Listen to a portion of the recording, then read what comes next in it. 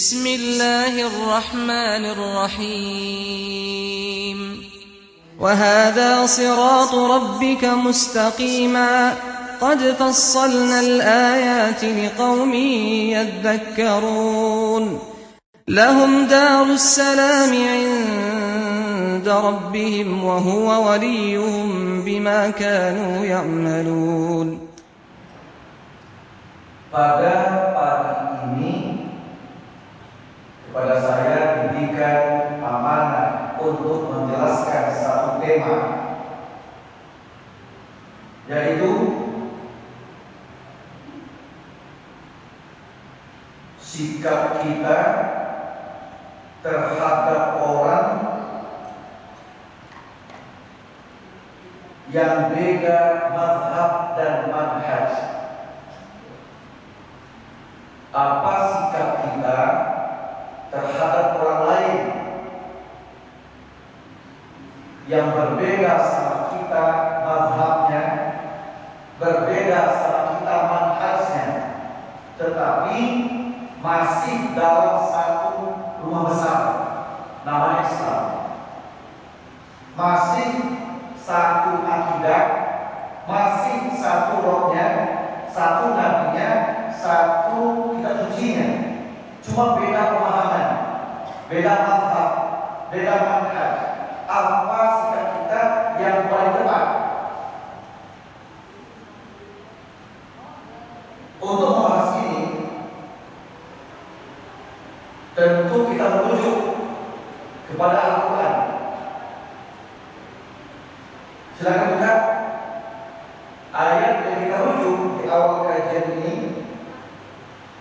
Buka surat yang kelima. Al-Ma'idah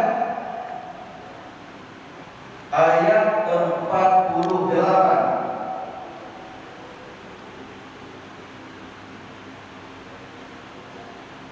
Surat 5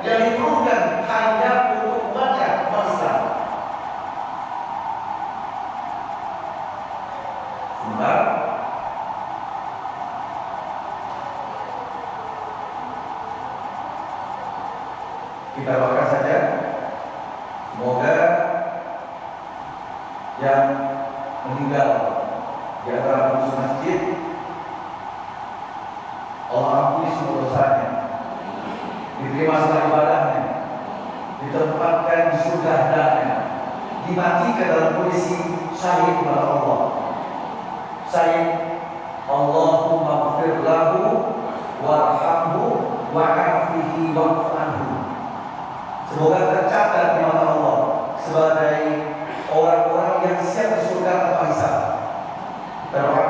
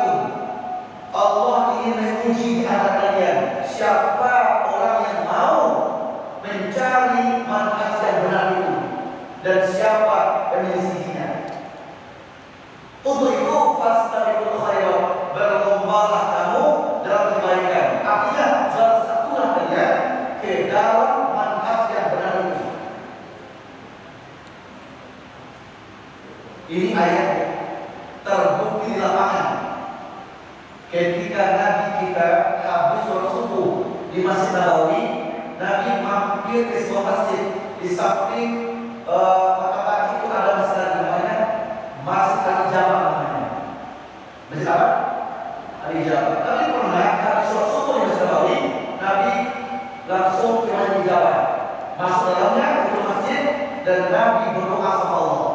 Ada tiga macam doa Nabi kepada Allah di masjid Al Jamal itu.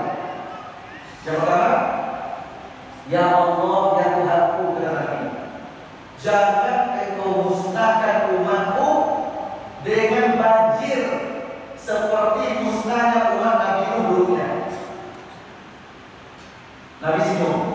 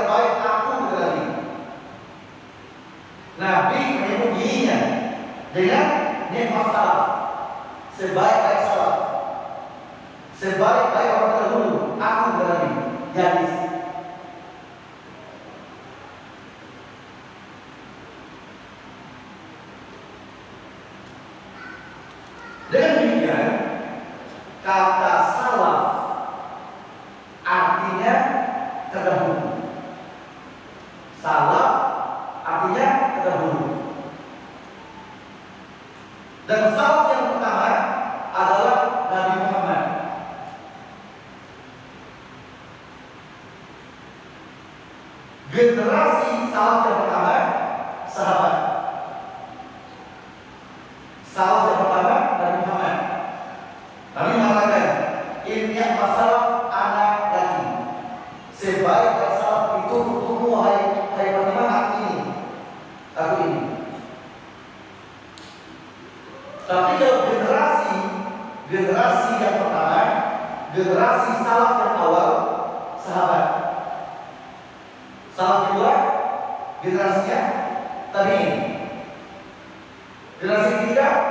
कभी कभी।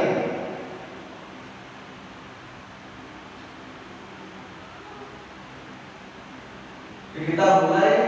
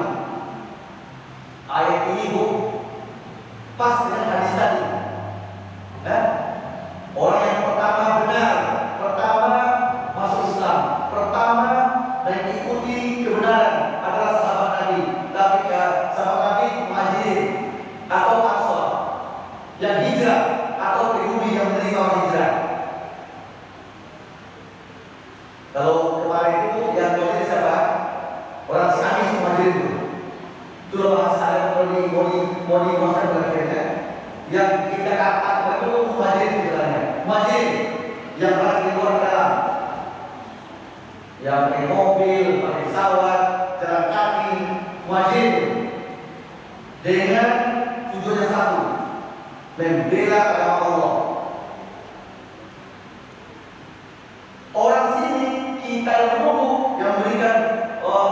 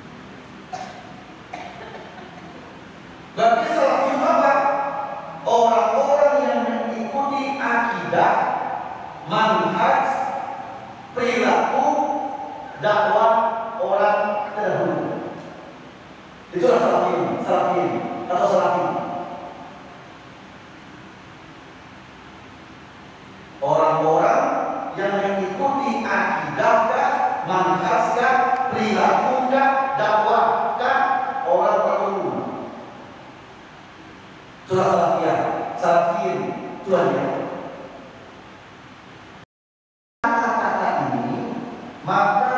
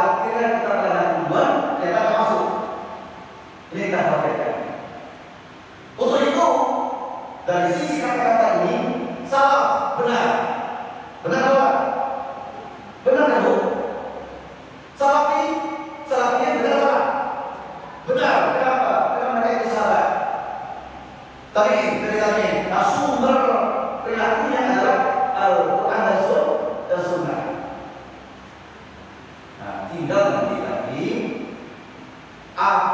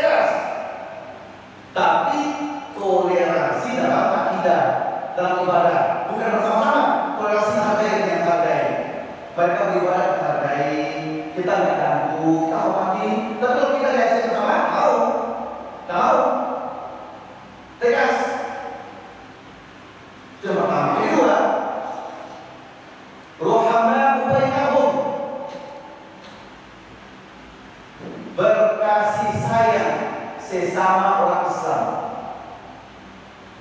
Sama orang kafir tegas sesama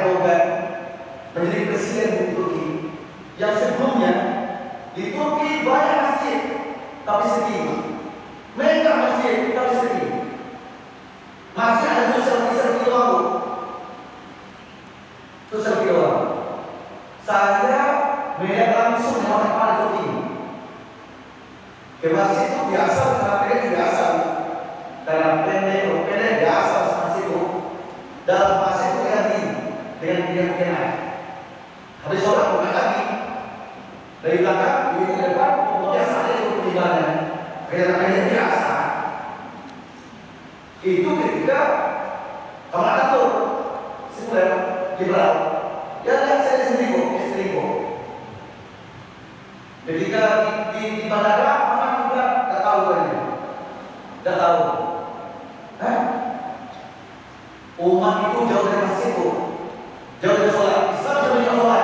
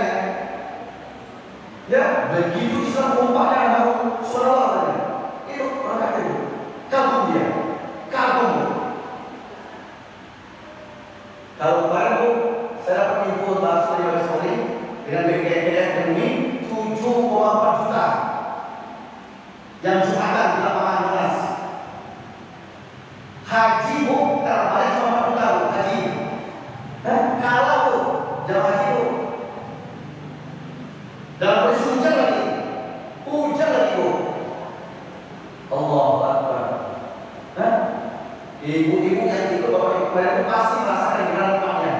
Saya yakin rasanya. Saya ikut mama, saya ikut saya. Karena saya tugas, saya khutbah di masjid lain, saya sama. Tapi saya kontrol terus, saya jadi terus. Bagaimana saya terus? Hah? Coba bu, apa?